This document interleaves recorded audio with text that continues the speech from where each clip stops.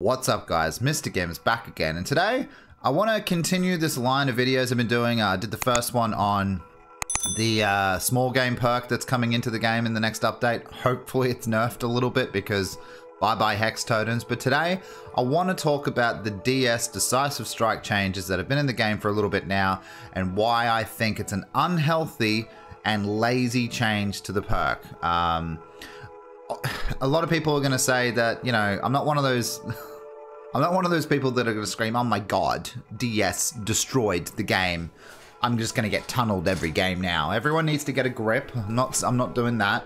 Um, I just want to discuss why it's lazy design and why it further creates an unhealthy element to the game. And and that's what all these are about is the small game was about an unhealthy design that's going to make the game worse. Uh, and I do think that DS is not complete and not finished. I do think that it does need some more changes for it to be an actual good perk, viable perk, and most of all, healthy for the general game. So before, when you, you know, got hooked uh, and you'd get unhooked and then you'd have a minute timer for DS to run out, that did create situations where survivors and especially survivor friends, because that's where it gets exploded, you know what I mean, like the effect, um, you could abuse the killer with it you could basically just sit on a gen and be happy with yourself, you know, go into a locker, waste their time sort of thing. And if you're an idiot killer, you'll just wait. but yeah, I do think it were it could be abused before, and I don't think it was healthy for the game. And it was in for the longest time as well. It takes them so long to change survivor perks negatively. Positively, holy shit, look at the last update. but anyway, the new DS now dictates that once you've been hooked, you get unhooked, you still have that minute timer where you're protected, um, but you're protected against tunneling. You can't repair a generator, you can't heal yourself, you can't cleanse a totem, you can't sabotage a hook, and you can't unhook others. It'll disrupt the meter and you can be hooked again without a DS happening. Um, so yeah, basically the devs saw it as we don't want you to progress the game because you can abuse it. You can just sit happily, you know, on a gen. Um, and this was the reasoning behind their change. However, I still think this is unhealthy. So, most survivors who run DS, I find, usually do just run to a corner of the map and just wait there or just wait somewhere safe. Um, if they're being tunneled, great, it works as intended. That's good as well. But for the survivors that do run away and don't get tunneled, it's a minute of not doing anything.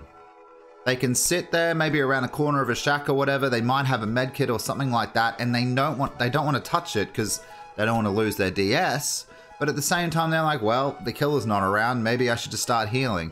So the perk becomes superfluous. It becomes non-existent, and to what I'm reading on the forums and Twitter, a mostly useless perk.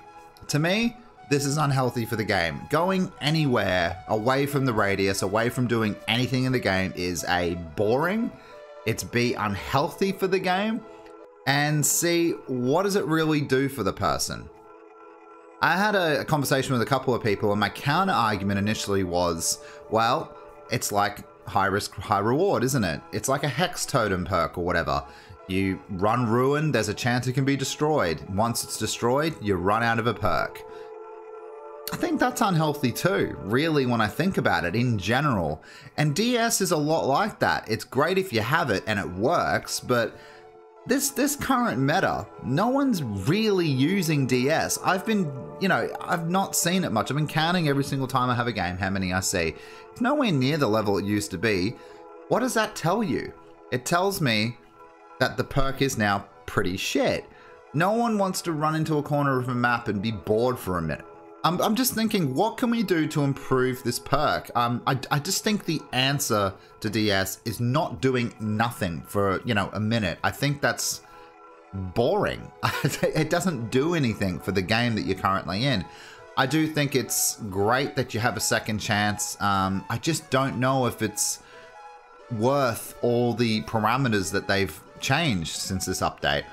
I honest to God think that, and by the way, I want to I'm gonna really spell this out to people. I'm not a Survivor main. I, I mostly play Killer. Well, playing Survivor a whole lot more lately. I'll definitely say that. Um, but unhooking a survivor, uh, especially if you're in like a survivor friends or something like that, you still want DS to kind of blend into the to the meta. Do you know what I mean? So I think maybe unhooking survivors should just be left alone. I think maybe if they took that away and your DS counter could still be there, because that way, if you do go for the save, you, you unhook them and you get hit, you still have that DS. So, I mean, some people might say you're abusing it by that by doing that, but I just think it's too strict right now. And I think again with the devs, it's lazy design. It's just put them in the corner for a minute. I don't think that's good for the game.